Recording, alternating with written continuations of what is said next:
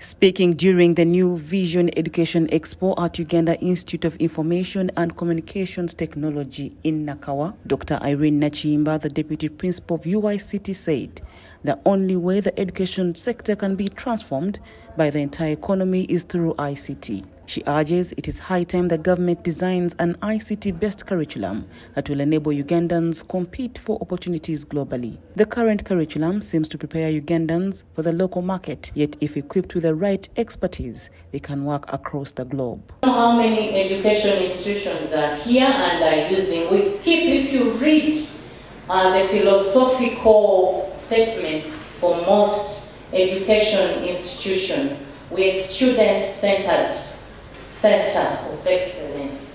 Are those beautiful phrases, but those beautiful phrases have an implication to it.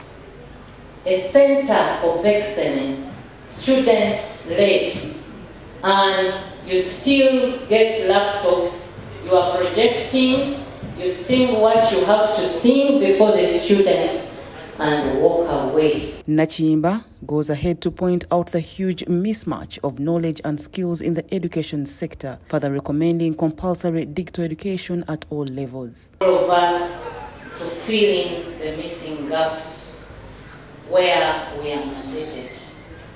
We need to document the business process workflows. An IT guru can only automate a well-defined business process workflow. Don Wanyama, the chief executive officer of Vision Group, who was at the expo, explained that the expo is intended to ensure Ugandans get access to their desired education products and services. is to churn content that we believe advances society.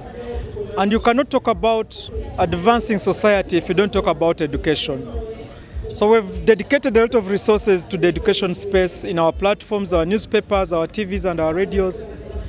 But we thought it would be a good idea to have all these education stakeholders come under one roof at one place so that anyone who's interested in matters of education will just walk in and be able to, if you're talking about education, uh, banking or financial services, if you're talking about curriculum, if you're talking about schools, if you're talking about universities, all the options. We're talking about books, publishers, everything you might want about education in one place. So that's why we organize this expo. There's a lot of value for all people involved in the education space. Wanyama thanked the Ministry of Education and other stakeholders that have partnered with Vision Group to organize this inaugural Education Expo. The Ministry of Education and the Government of Uganda for the support we've gotten. Uh, today we had the minister come in here to look at what we're doing and we have received a lot of goodwill messages from the government and the key stakeholders, including the minister and the first lady. We want to appreciate her for that support. To our sponsors who have supported us uh, in this inaugural expo, the first of its kind, and yet it is turned out very, very, very good. We want to thank them. And I also want to thank the exhibitors who have come here to showcase whatever they're doing. I've moved around here and I can tell you there's a wealth of stuff to learn from, to admire, to buy.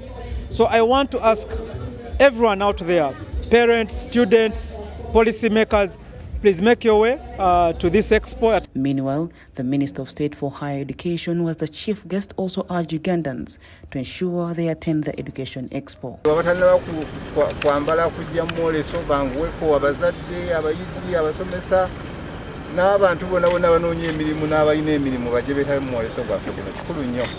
Ate n'okwekolera history kubanga guno gwe gusoose mu uganda. So anaaba agwetabyemu ajja kuba akoze history atagenda kuddawo. The expo is under the theme where education and the world of employment meet.